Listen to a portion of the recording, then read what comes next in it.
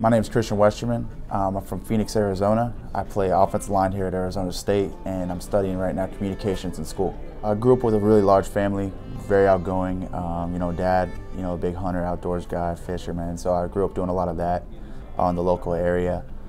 Um, you know, really big on family, really close to my family. There's a, a, weight limit here in Arizona, so I wasn't able to play football up until high school.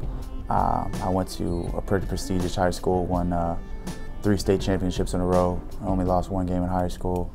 So I'd say, you know, that, that was where I started my football career. When I was there, at least we were top 10 in the country, just very prestigious in football and definitely loved it there. Always, I played football with friends. You know, a lot of them didn't want to play with me because I was a lot bigger than them and, you know, they usually ended up getting hurt. But uh, my father played football, so I got a lot of his, you know, genetics and he, he actually raised me you know, we were a big football family, so he, I grew up, you know, he, him teaching me and stuff. So I showed up to the, the training thing, and um, they, they did this deal where they kind of like weigh the guys and take their height. And it's not that I was, you know, overly large or a fat kid. I just, I was a lot bigger than the other kids, and the coaches didn't want me hurting their, you know, their son or other people's sons. I started playing actually playing football at 15. Uh, it's four four years of high school, so I did four years of high school. But I mean, I was always always in athletics before that.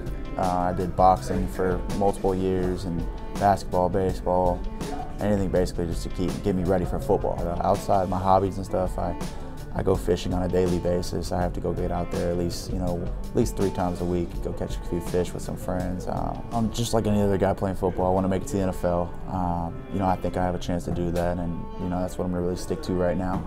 If that doesn't work, you know, I'm going to have to find, you know, real job and uh, hoping to do something in the marketing business. It's awesome. It's really great. Uh, we have a really strong, you know, family bond here. Uh, I consider every guy on the team like a brother, so I can't really say much else about that, but it's just a real special thing.